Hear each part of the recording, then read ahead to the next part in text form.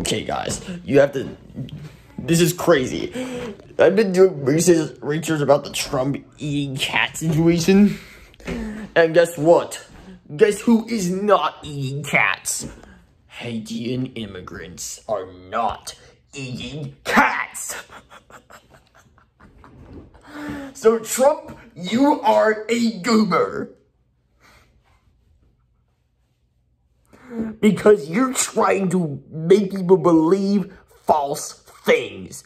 Are you insane, Trump?